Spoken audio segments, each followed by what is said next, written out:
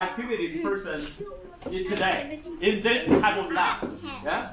So you can ask him very tough questions related to science or related to anything about personal life.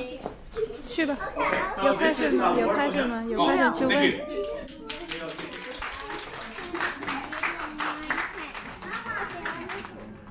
Yeah, so this is the work that he gonna decide who will receive this best activity award. At the same time, he gonna write his name on it and write a kid's name on it. So this one will become a very special case because eventually, I think after five to ten years, he will eventually become a professor or eventually become a director, for example, in one field. And the kids can ask him to write a recommendation letter at that day. Okay, how I perform at that day. Okay? And then Ben will be your best friends to be able to provide you a good recommendation for that. Plus this award. So at the end, so at the end of the day, so we also, so this program is supported by the Global Education. And also Robert K Education have a, have a funding.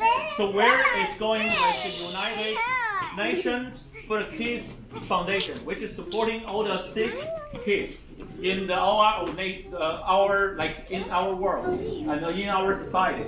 So we everything here today is without any charge, but we are welcome to any type of donation.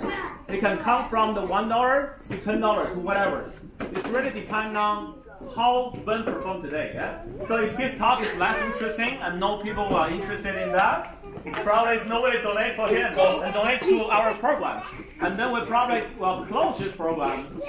maybe, maybe not. We won't close the program tomorrow, but we're gonna have to think about other other parts to raise the money. Okay, so Ben, you, I'll be on the stage, and uh, also kids will start to ask you the questions. It can be related to today's talk or relate to any personal life.